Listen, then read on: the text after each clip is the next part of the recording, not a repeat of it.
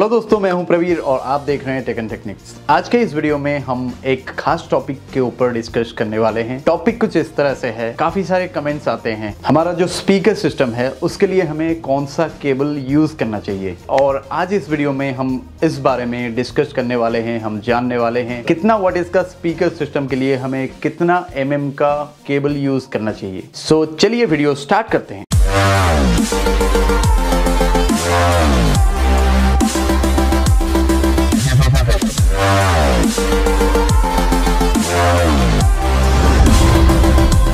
सो so, पहली चीज़ ये है कि जहाँ तक मैंने नोटिस किया है काफ़ी जगह पे मैं देखता हूँ काफ़ी लोग स्पीकर केबल यूज़ नहीं करते। वो नॉर्मल इलेक्ट्रिक वेयर्स यूज़ करते हैं। उससे आपको क्या नुकसान हो सकता है उसके बारे में पहले जान लेते हैं। अगर आप नॉर्मल इलेक्ट्रिसिटी केबल यूज़ करते हैं जिसमें आपका करंट सप्लाई होता है घर के लिए तो आपका स्पीकर्स में ज़्यादा प्रेशर जनरेट नहीं होगा क्योंकि आपका जो पावर एम्पलीफायर होगा या फिर एम्पलीफायर होगा उसमें जितना भी डैम्पिंग रहेगा वो ट्रैवल करते टाइम केबल में वो बहुत ज़्यादा कम हो जाएगी। तो उस टाइम में आपको एक परफेक्ट प्रेशर सुनने को नहीं मिलेगा। और दूसरी चीज़ ये है, आपकी ऑडियो क्वालिटी में भी काफ़ी आपको कमियाँ देखने को मिलेगी। शायद लगेगा आपको कि प्रेशर सही से नहीं बन रहा है और मिड रेंज जो है वो डिस्टोर्टेड मिल रहा है और हाई एंड भी उतना क्लीन नहीं मिल रहा है। तो इस तरह की प्रॉब्लम्स आपको नॉर्मल इलेक्ट्रिक केबल्स में देखने को मिलेगी। क्योंकि नॉर्मल इलेक्ट्रिसिटी केबल जो है, वो स्पीकर केबल से किस तरह से अलग होती है,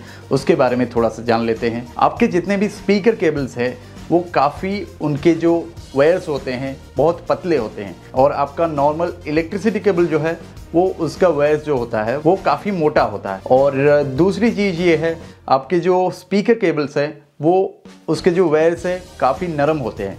और आपका जो इलेक्ट्रिसिटी केबल है, वो उसका वायर जो है, वो काफ़ी हार्ड होता है। उसकी वजह से जब एक सिग्नल पास होता है तो वो जो स्पीड बननी चाहिए, वो बन नहीं पाती।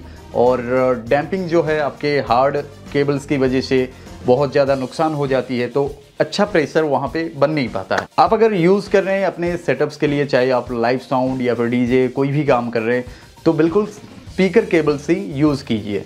इससे आपको हाई ऑडियो क्वालिटी सुनने को मिलेगी। शायद आपको ये टॉपिक बहुत छोटा लग रहा होगा, लेकिन ये आपके सेटअप के साउंड क्वालिटी में काफ़ी ज़्यादा इम्पैक्ट डाल सकता है। आपको काफ़ी ज़्यादा अंतर सुनने को मिलेगी। सो so, अभी हम जान लेते हैं कितना वर्ड का स्पीकर सिस्टम के लिए आपको कितना एम mm का स्पीकर केबल यूज़ करना चाहिए। पहले अगर आप एक 500 600 वर्ड तक का आपका स्पीकर सिस्टम है एक बॉक्स अगर आपका 600 वर्ड तक का है तो उसके लिए आपको कम से कम जो है वो 1.5 पॉइंट mm का केबल आपको लेनी ज़रूरी है। अगर आपका सिस्टम हज़ार वाट तक है तो उस टाइम में आपको टू स्क्वायर एम का केबल लेने की ज़रूरत है। तभी आपका सिग्नल की स्ट्रेंथ बढ़ेगी, आपकी केबल कभी भी ओवर का शिकार नहीं होगा। और अगर आपका जो सिस्टम है, अगर सोचिए हज़ारों वाट से लेके दो हज़ार वाट तक कोई भी टॉप हो सकता है या फिर सबूफर हो सकता है तो उस टाइम में आपको 2.5 पॉइंट mm की केबल लेने की ज़रूरत है। अगर एक ही चैनल में आपने 2000 वाट से ऊपर का लोड दिया हुआ है तो उस टाइम में आपको फोर स्क्वायर एम का केबल लेने की ज़रूरत है।